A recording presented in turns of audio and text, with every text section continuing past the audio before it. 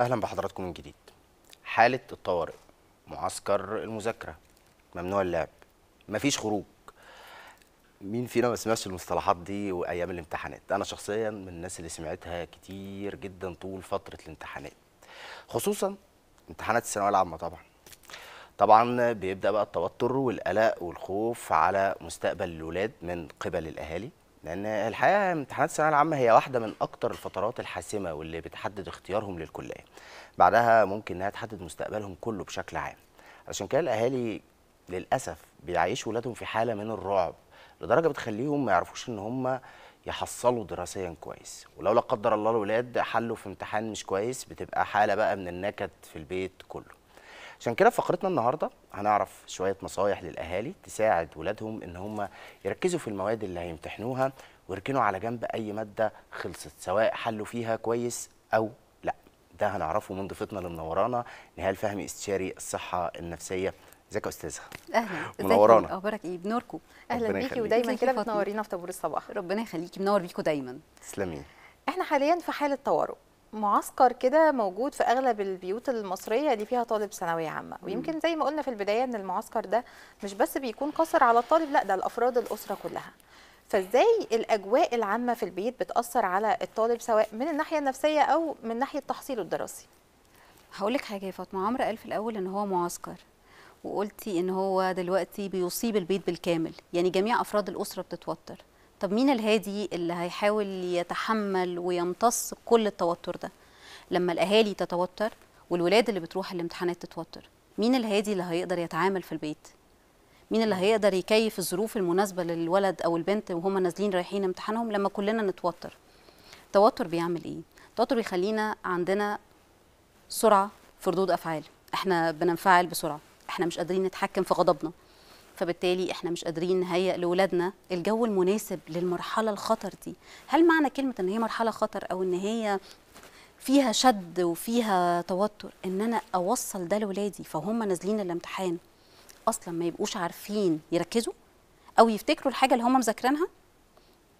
طب أنا منتظر إيه لما يكون أجواء البيت كلها متوترة؟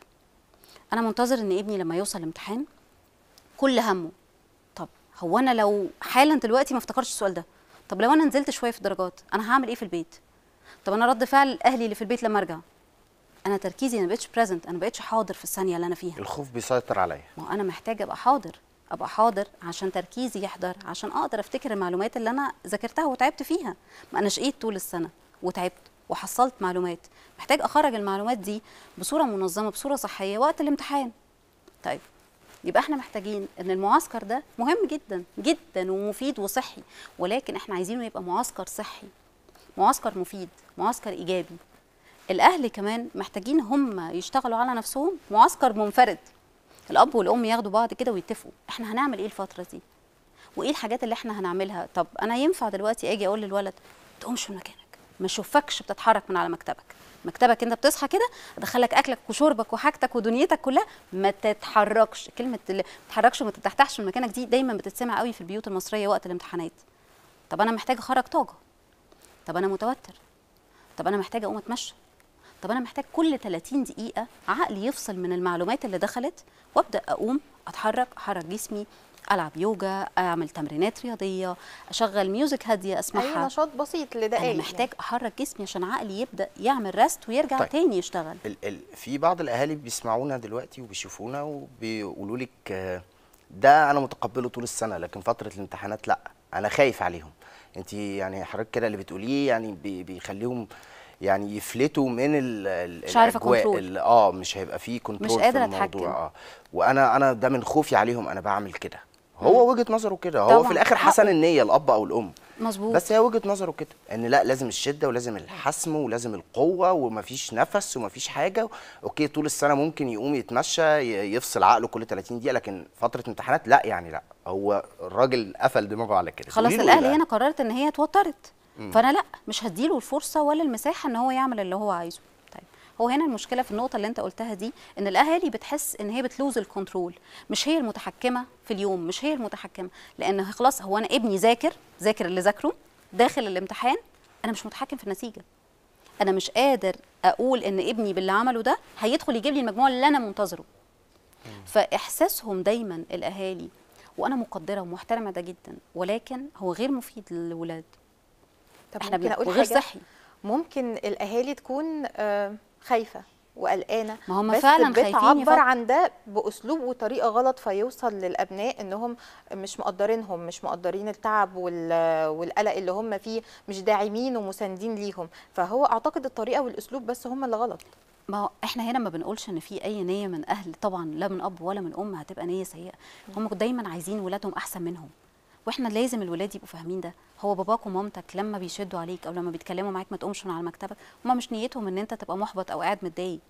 هم نيتهم فعلا حلوة قوي. هم عايزينك احسن واحد في الدنيا. الكلمة اللي دايما بتتقال أنا عايزك مش أحسن مني عايزك أشوف أحسن واحد في الدنيا. ولكن أحسن واحد في الدنيا ده من وجهة نظر مين؟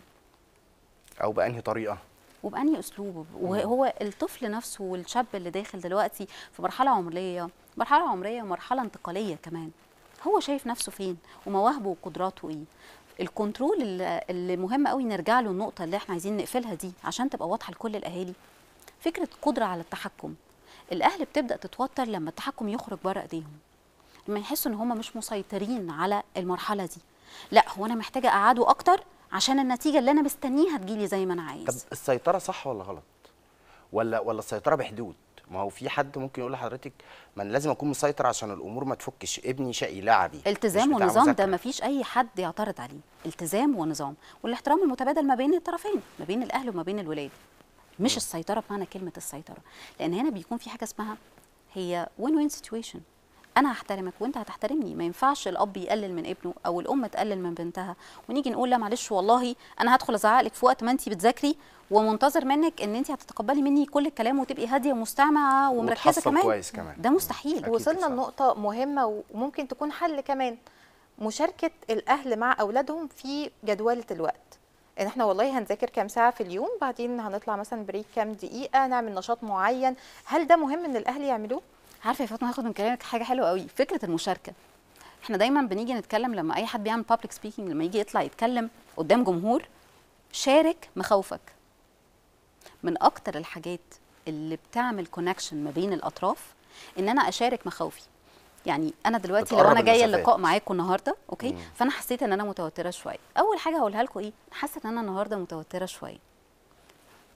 ال connection الطبيعي ما بين ال human beings بيحصل إيه؟ إن الإنسان بيبدأ يوصل اللي قدامه لا أنا معاك. ما تقلقش. أو هقدر أو هحترم ده. مش هتعدى حدودي. هخلي بالي. فما بالك ما بين الأهل وولادهم. أنا قلقان. روح قول لاولادك اقعدي مع اولادك قولي لهم أنا خايفة. أنا قلقانة. مش أنا مرعوبة. أنا مش عارفة أنام. لا ما توتريهمش. ولكن شاركي مخاوفك ومشاعرك. اقعد كأب الأب طبعا بيبقى عنده حدود صارمة إن هو ما يقدرش يقول أنا قلقان الصورة النمطية عن الأب ما يقدرش يهزها ويقول أنا خايف أو أنا قلقان عليك أو قلقان على مستقبلك. لا شاركوا مخاوفكم مع اولادكم وقولوا لهم إحنا عايزينكم أحسن وعايزينكم كويسين. مش أنا بضغط عليك عشان أنا في حاجة معينة وعندي أجندة خاصة في دماغي وعايزك تدخل كلية زي ما أنا محتاج. لا أنا فعلا عايزك كويس. وخايف عليك إن أنت لو ما قعدتش والتزمت اليومين المهمين قوي دول في السنة إحنا بنتكلم إن هم بضعة أيام في السنة أنا محتاجك تركز فيهم.